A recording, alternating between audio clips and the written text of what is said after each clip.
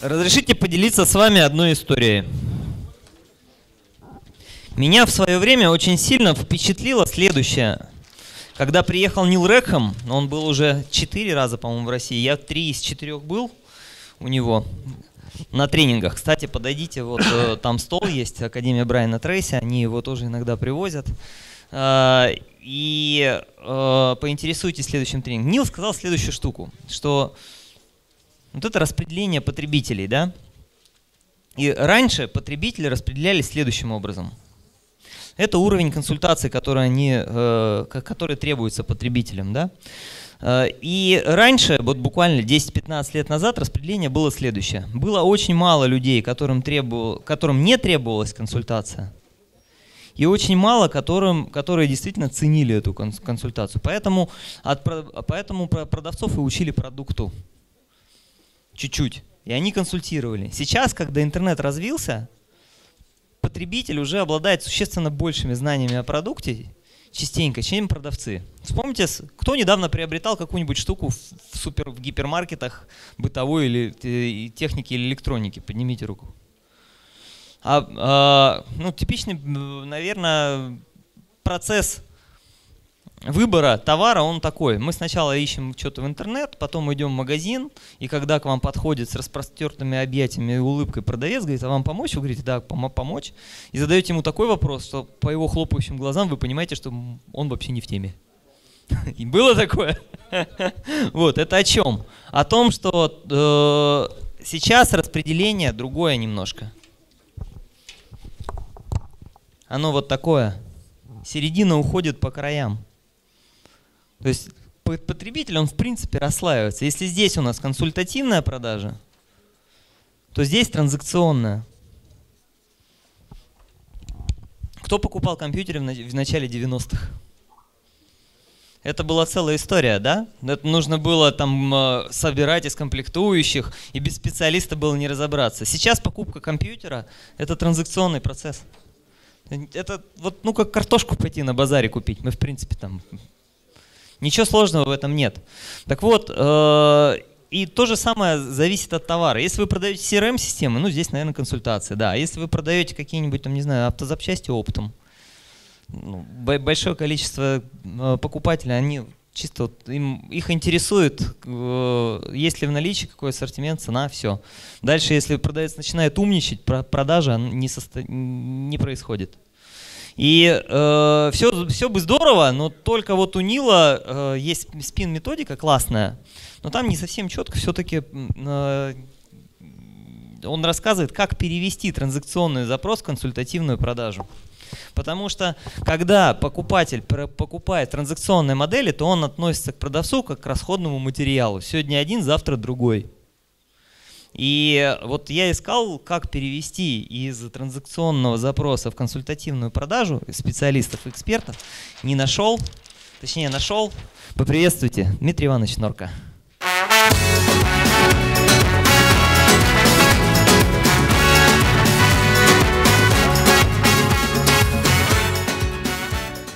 Добрый день.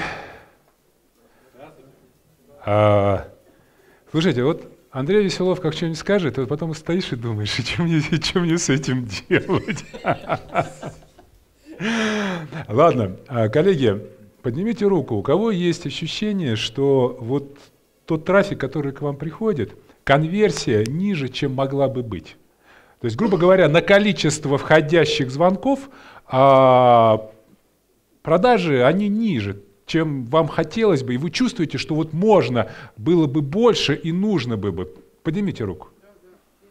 Хорошо, давайте сейчас поговорим, что с этим делать и как нам э, вот эту ситуацию разрулить, так как у Нила Рехема решения нет, придется нам делать сами, так как Рехема нет, вот, так что норки отдуваться.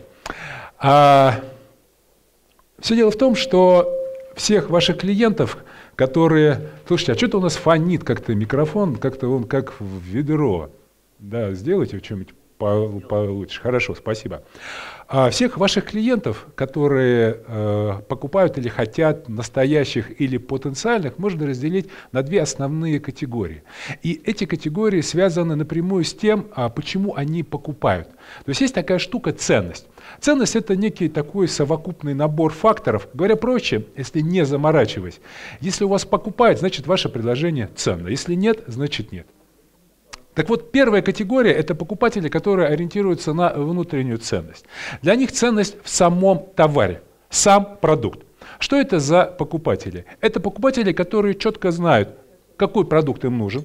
Они знают, что они с ним будут делать. Далее, э, они неохотно идут на контакт, даже э, вообще некоторые не идут на контакт.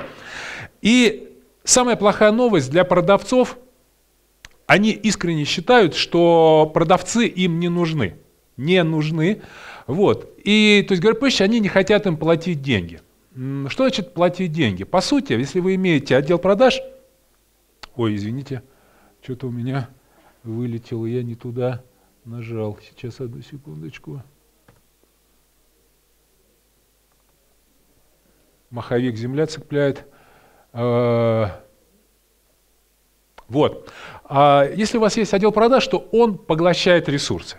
А, фонд оплаты труда, аренда, так далее и тому подобное, эти деньги берутся откуда? Они берутся из кармана вашего покупателя. Так вот, эта категория покупателей не хочет платить деньги вашим продавцам по одной простой причине. То, что они считают, что смысла в этом нет, и ваши продавцы этих денег не стоят. Еще один очень важный фактор, они искренне считают, что ваш продукт, товар, услуга не уникален. Даже если вы считаете, что у вас есть уникальный продукт, они этого не считают. Не считают. То есть, еще раз говорю, если говорить по ценности, то они ориентируются на внутреннюю ценность, на сам продукт. Это первое. Вторая категория покупатели, которые ориентируются на внешнюю ценность. Для них ценность находится за пределами э, самого продукта. Э, в данном случае ценность будет здесь, одна из ценностей, это тот человек или та компания, которая продает. В чем отличие первой от второй категории? Еще раз говорю, первая категория четко знает, какой продукт им нужен, Вторая категория знает лишь то, что у них есть какая-то потребность, какая-то проблема. Первая категория считает, что э, они знают, как они это будут использовать, что они с ним это будут делать. Вторая категория не знает. Первая, э, первая категория э, не идут на контакт, неохотно идут на контакт. Вторая категория контакт инициируют и охотно общаются. Первая категория, еще раз, не хотят платить деньги продавцам. Вторая, хотят, готовы нести расходы. Две основные категории. Отличие, отличие. Еще раз говорю, в понимании, что такое ценность. Ну, э,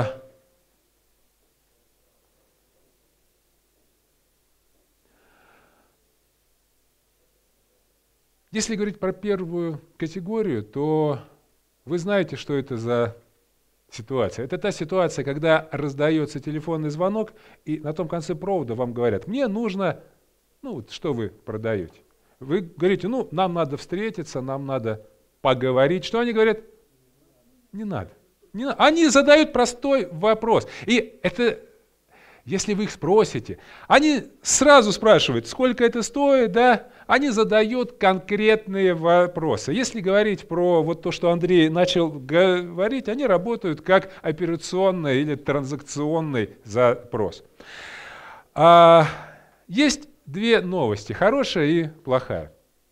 Плохая новость заключается в том, что покупатели категории А с каждым днем становятся все больше и больше – вот. И заработков здесь все меньше и меньше. Меньше. Меньше почему? Мы сейчас об этом будем говорить. А, так вот, еще раз. Покупатели А. Чтобы у нас с вами было понимание. К примеру, у меня есть у меня есть э, аудитория пустая, ну вот, к примеру, такая, да, и умные люди мне сказали, слушай, оборудуй ее и проводи семинар или сдавай. Я, к примеру, знаю, как должна быть оборудована, какие должны быть стулья, какая должна быть техника, да, а, и я ищу себе поставщика. Это первая категория. Это первая. Это категория А. Категория Б, опять-таки, у меня есть аудитория. Я хочу проводить семинары, я хочу сдавать, мне нужно оборудование, у меня есть в этом потребность, но я не знаю все-таки конкретно, какие нужны стулья, сколько, какое оборудование. Понятно, в чем отличие А и Б? Это основное отличие. И вот теперь, и вот теперь, а, давайте попробуем все-таки разобраться, что есть будет ценность для первой и второй категории. Еще раз, первая категория – я знаю, какое нужно оборудование, я знаю, что я с ним буду делать, что будет. И вот смотрите, вот у меня есть, допустим, э, компания А, Б и С. Мне нужно выбрать, мне нужно выбрать одну из этих компаний.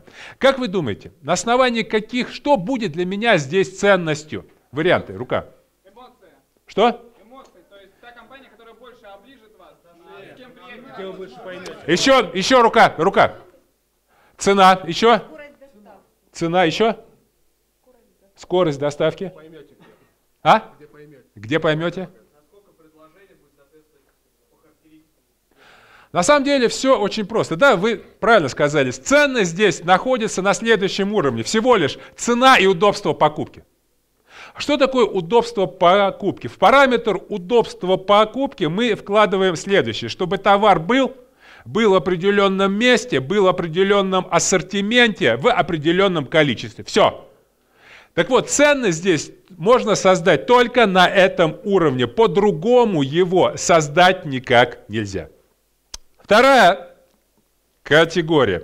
Все то же самое. Есть зал, нужно оборудовать, есть три компании, но у меня нет четкого все-таки абсолютного понимания, что с этим делать. Есть компания 1, 2, 3, А, Б, С. Ценность в данном случае для меня что будет? Сервис, Сервис еще. Целостность подхода. Еще варианты? Консультация. Еще? Решение. Абсолютно верно. Вы все правильно говорите. Ценность здесь находится на следующем уровне. А, консультация, обучение, поддержка, а, вот, вот, вот эти вещи. Две категории, две, два понимания ценности.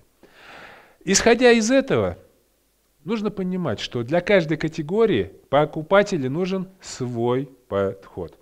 Где-то лет, наверное, 10 назад а я написал статью, в которой я описывал порядка 15, по-моему, с лишним э, видов продаж организаций.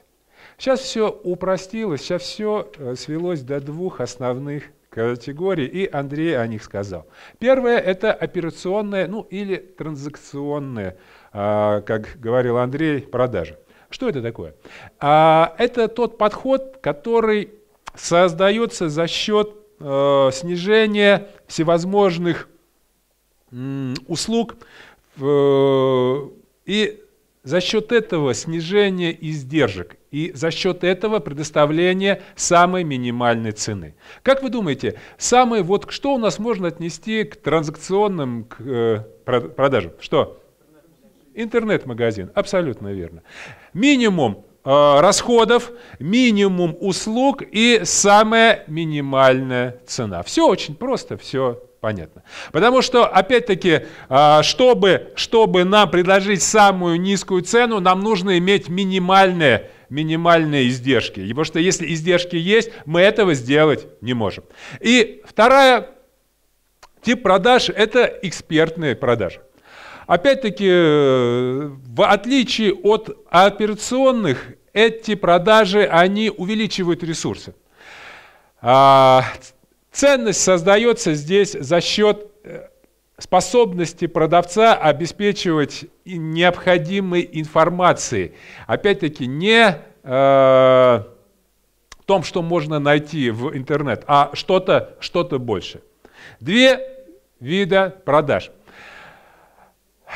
Что у нас получается? Получается то, что для, как вы, наверное, уже поняли, первой категории нам нужен операционный подход, да? для второй нам нужен экспертный. Все очень просто. И исходя из этого, исходя из этого, а, в принципе, все правильно, все понятно. Но сразу возникает вопрос, как нам идентифицировать вот этих покупателей и этих продавцов. И все-таки, чем же отличается экспертный подход от, я сейчас буду как Чапаев, от э, операционного. Смотрите, по поводу операционных, это покупатель, это ваша компания. Когда мы говорим про э, операционные продажи, продавец стоит вот таким образом, он отстаивает свою компанию. Здесь переговоры ведутся на уровне торга.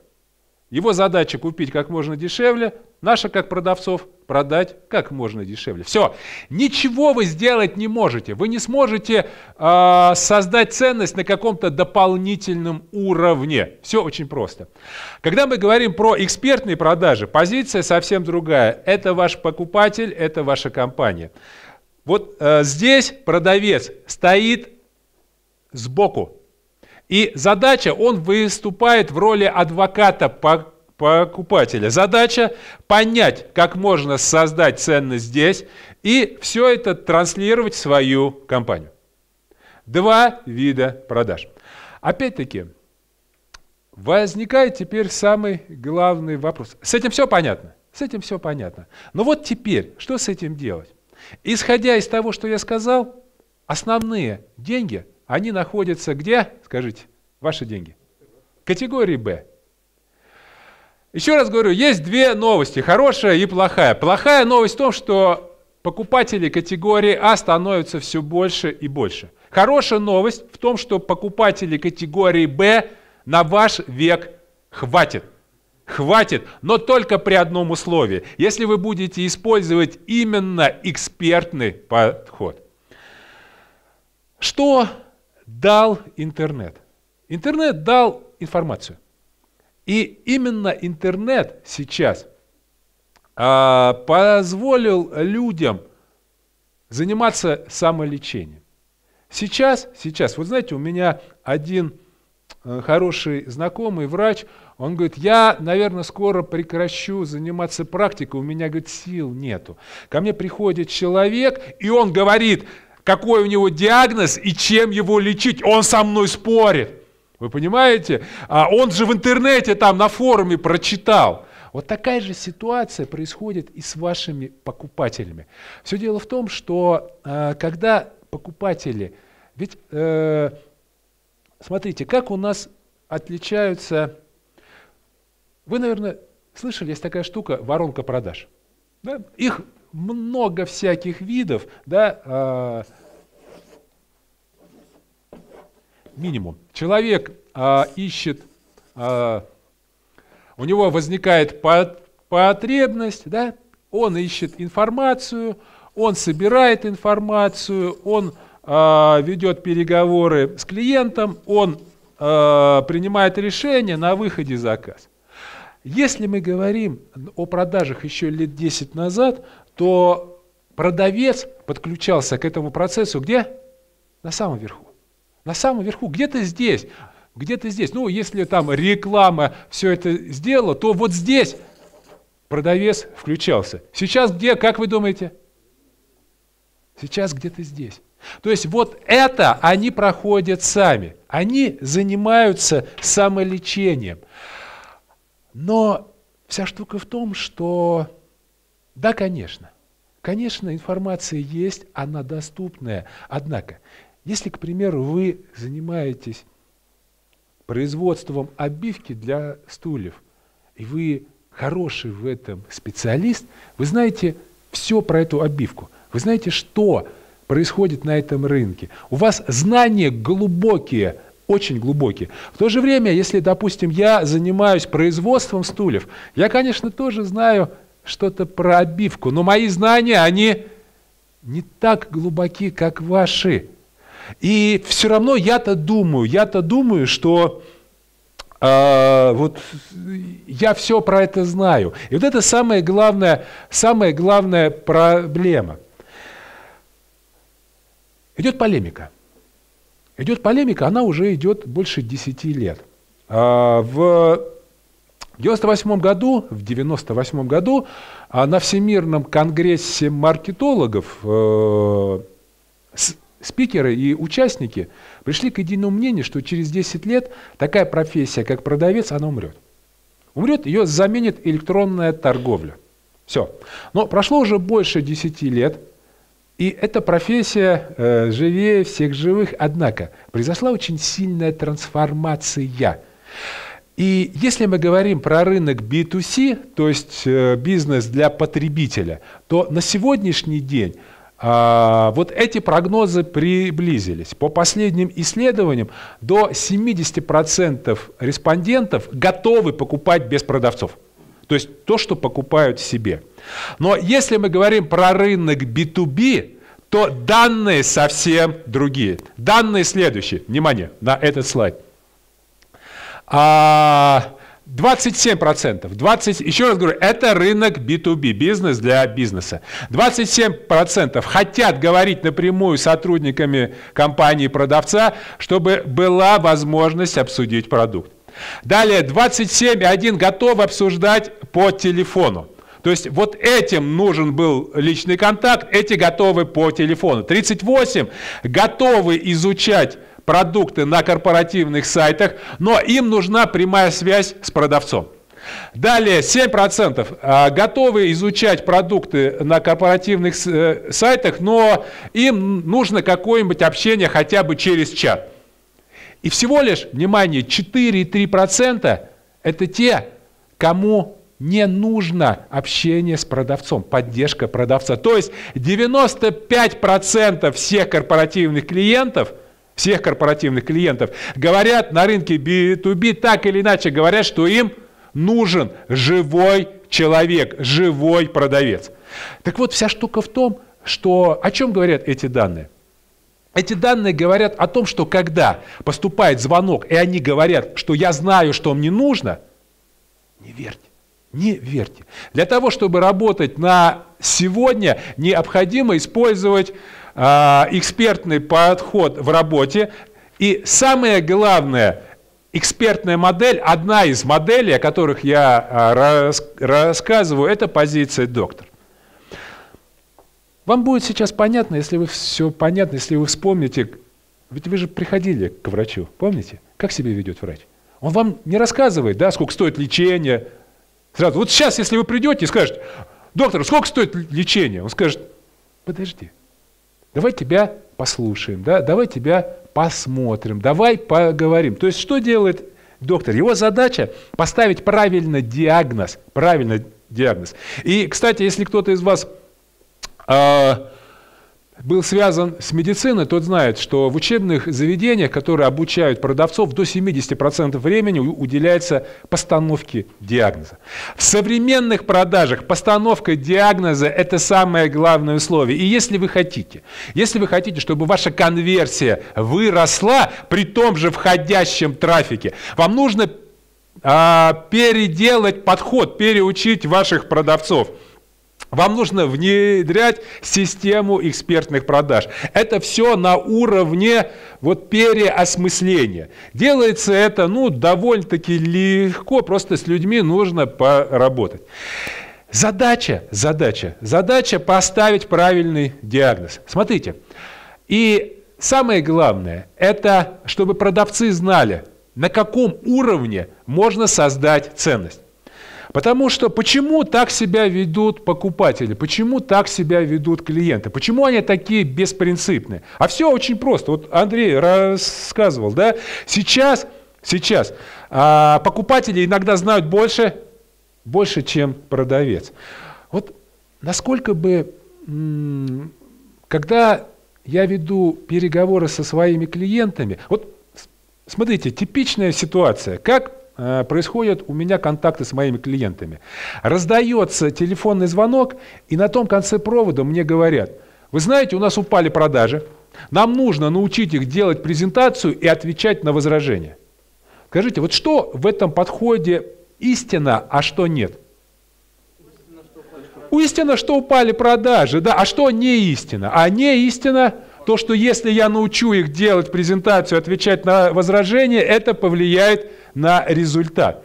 И если, если я буду слушать и буду я им доверять диагностику самим, то на выходе они результат не получат.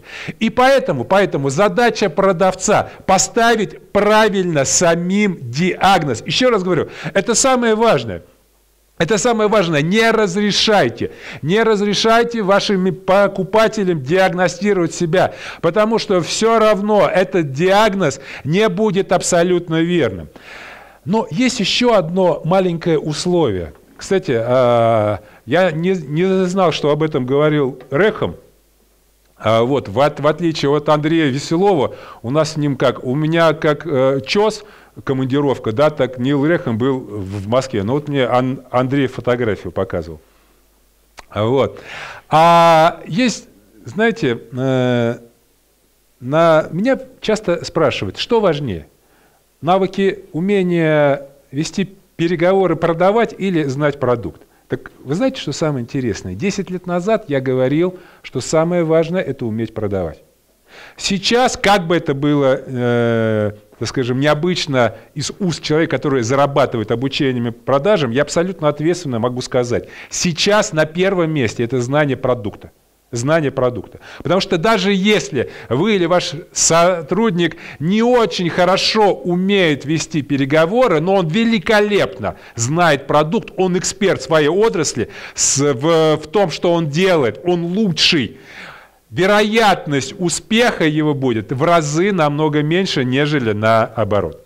И поэтому, поэтому очень важный вопрос, как и где мы можем создать ценность. То есть, еще раз говорю, если продавец выступает говорящей брошюрой, если он идет и дублирует сайт, и начинать заезженно. А вы знаете, наши поезда, самые поездатые поезда в мире, наши поезда никто не перепоездит.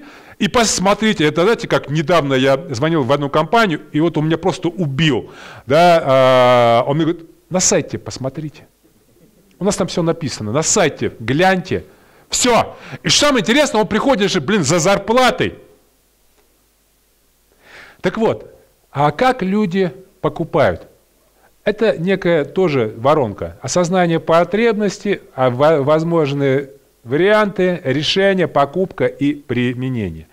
Когда мы говорим про экспертный подход, то нужно понимать, что на каждом из этом уровне мы можем создать ценность.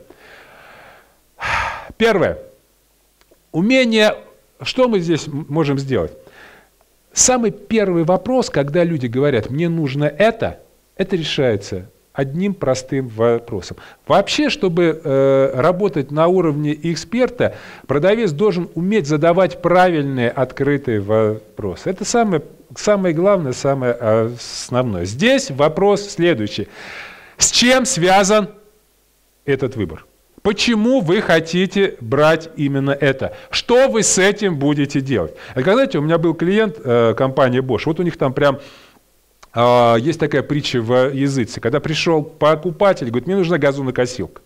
Продавец ему продал газонокосилку, тот пришел на второй день ему на голову одел, а все, у него все лопасти поломались, вся погнута. Оказывается, он не Канаду Грин купил косить, а там у него и этот, да, этот, и бурьян, все остальное. То есть ему нужен был триммер и, или сучкорез. То есть получается что? И а вот этот продавец, он мне говорит, мне же сказали, мне же сказали, что э, нужна газонокосилка. Но, опять-таки, поймите одну простую вещь. Э, если он не получит результата, то по-любому виноват будет кто? Все равно продавец. Все равно. Поэтому задача, задача э, на первом уровне с помощью простых вопросов все-таки выяснить, с чем это связано. Далее, оценка вариантов. Что здесь? Ценность создается следующим уровнем, э, следующим способом. Это способность понять, помочь покупателю сделать лучший выбор. Опять-таки, что он об этом знает? Что он об этом? Что что важно для него, что он с этим будет делать. Третий уровень – решение проблем. Опять-таки, что? Какой у него опыт? С кем он работал до этого? Что для него важно? И покупка. Как мы можем сделать его покупку проще, легче, удобнее и комфортнее? И применение. Какие есть варианты, что мы можем предложить после того, как он все это купит? То есть, говоря проще, говоря проще, задача экспертного подхода – это не верить на слово. И вы знаете, что самое интересное, когда вот из моей практики, из моей практики, просто а, как получилась вот эта тема? Я это рассказываю на своих тренингах. И Андрей мне говорит, не даст соврать, дай мне, как перевести транзакционные в э, операционные, в, в эти, в экспертные. Я говорю, а что тут все, все это понятно? То есть на самом деле а, самое главное, это начнет работать только тогда, когда в компании будет внедряться культура экспертных продаж, и когда продавцы не будут работать передастами. Потому что если у вас работают передасты, никогда вы денег не заработаете. То есть, на, по сути, у компании есть два пути. Первое – разогнать чертовой матери отдел продаж, перевести все в онлайн – и все нормально. То есть э, одного секретаря, небольшой склад, и все. Классно. И зарабатываете деньги. Все. Или второй вариант. Да, мы имеем отдел продаж, да, мы имеем структуру, которая поглощает ресурсы. И никогда операционный запрос не будет стоить столько, сколько экспертный. Люди должны за это платить. И вся штука есть в том, что люди готовы за это платить. Их очень и очень много, поверьте мне.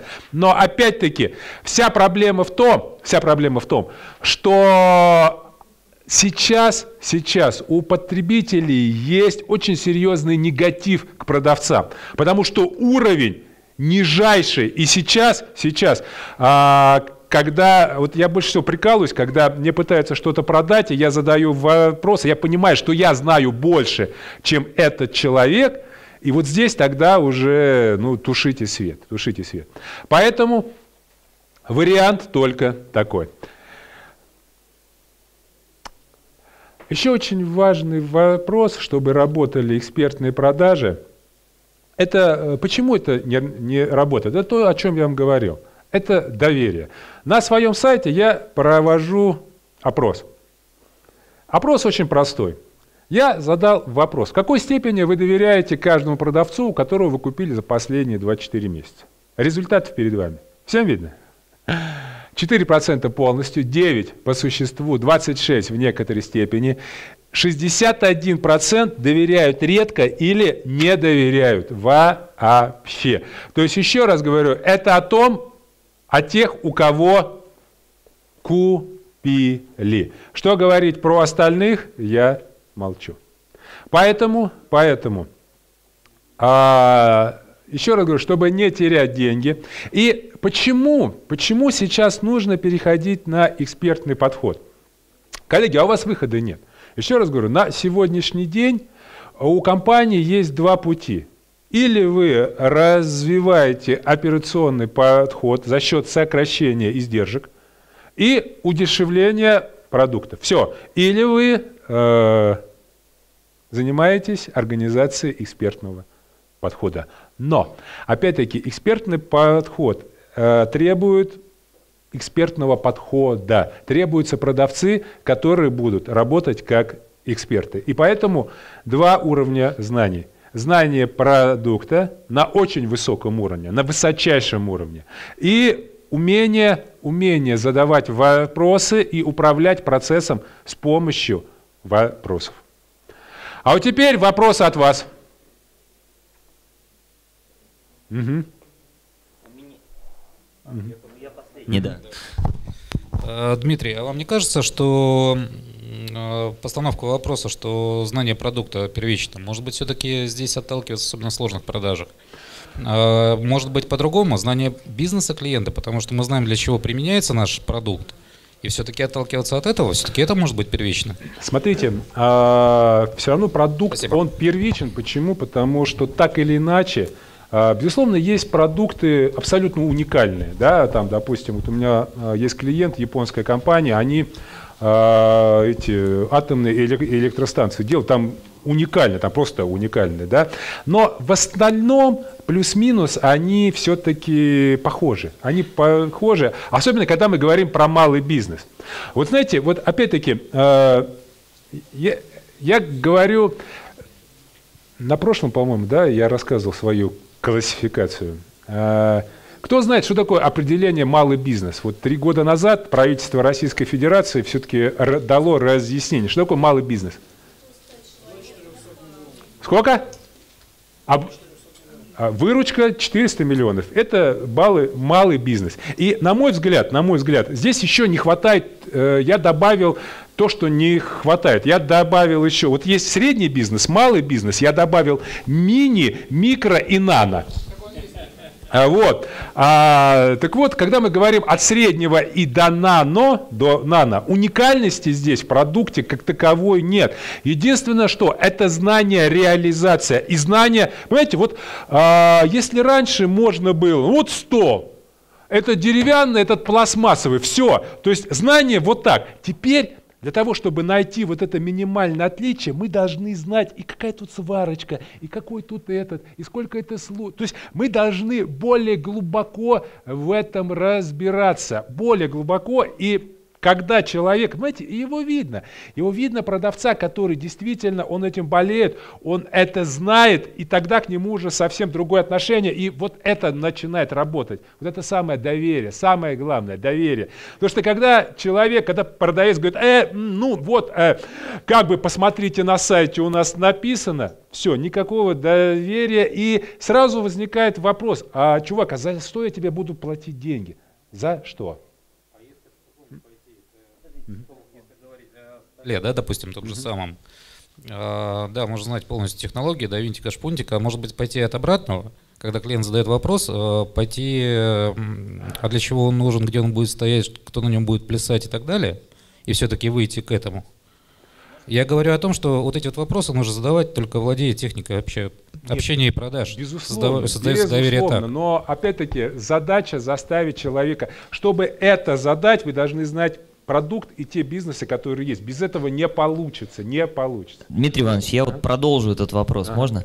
Я был просто у Дмитрия Ивановича на тренинге экспертной продажи, который там для продавцов, и там, э, в принципе, э, ты давал технику прям для продавцов с конкретными речевыми модулями, алгоритмом, что делать, когда звонят и говорят, а у вас вот там такие столы есть там, вот, и я вот к моему большому стыду забыл, ч- как, как, как она конкретно именно там выражалась, потому что уже сегодня день такой суматош- суматошный. Можешь дать вот какие-то примеры, кейсы там, вот что делать, когда звонят и пытаются с продавца выжать информацию по транзакционной модели, какие слова и механики можно использовать для того, чтобы перевести все-таки этот запрос в консультативную модель продаж? Ну вот э, Веселов, скрипт, скрипт, Веселов, скрипт, Веселов, Веселов, скрипт. Это все, это, это я походу понял, это диагноз, дай скрипт. А на самом деле все очень просто. Я об этом уже сказал. Учитесь задавать вопросы. А, когда человек звонит, вот опять-таки, все мы живем и работаем по шаблонам. Мы так привыкли. Вот так мы это делаем. И если э, человека не вывести из шаблона, никакие методы убеждения не помогут. Это будет конфликт. Вот эти вот самые жесткие техники, которые сейчас пытаются внедрять, ну, не работают. Они, э, люди совсем другие, образованные стали. Единственное, что можно, это когда человеку задаешь открытый вопрос, то есть открытый, знаете, да, на который человек должен давать развернутый ответ. Кто, где, как, зачем, почему, с кем, как часто и, и насколько. Все. И вот тогда, тогда он есть возможность что-то исправить. Еще раз говорю, только тогда, когда человек начинает думать. То есть самая главная задача вывести его из этого шаблона. Ну, опять-таки, а, отвечаю сразу на вопрос. Ну ведь не все же, это как, знаете, как в этом, э, как в том анекдоте, когда у поручика Ржевского спрашивают, поручик, а как у вас так с женщиной получается легко? Он говорит, ну как, подхожу и говорю, а пошли, а если по мордясям? Не, бывает, не, может быть, ну как правило идут. Так вот, и здесь то же самое. Могут, конечно, не ответить, но, как правило, если э, продавец действительно это делает, если он правильно все и себя ведет, люди идут на контакт. Но опять-таки, нужно понимать, что 30%, 30% это те, кто на контакт не пойдут. Это 100% категория А. 100%. Это те, у кого уже есть четкое видение, четкое мнение, опять-таки есть свой опыт, и которые действительно сами являются в этом экспертами. Такие есть, но опять-таки 30%, коллеги, 30 это меньше, чем 70 тех, с которыми можно создать э, экспертный подход. Угу. Последний вопрос, судя по времени. Дополнить э, мысль. А может ли сервис поставщика компенсировать э, часть от экспертных продаж? Сервис делают люди. Понимаете, покупают не фирмы, не компании, продают не фирмы, не компании, люди. Что такое понятие сервис? Понятие сервис – это не что-то эфемерное. Это тогда, когда контактирует один человек с другим человеком, исходя из этого складывается некое впечатление от сервиса или услугах. Это опять люди. И в конечном счете все это выявляется одним сервисом. По поводу организации экспертных продаж. Хочу пригласить вас 21 апреля. А, здесь же будет в Измайлово мой мастер-класс, который называется «Система экспертных продаж для топов». Для участников конференции 25% скидка.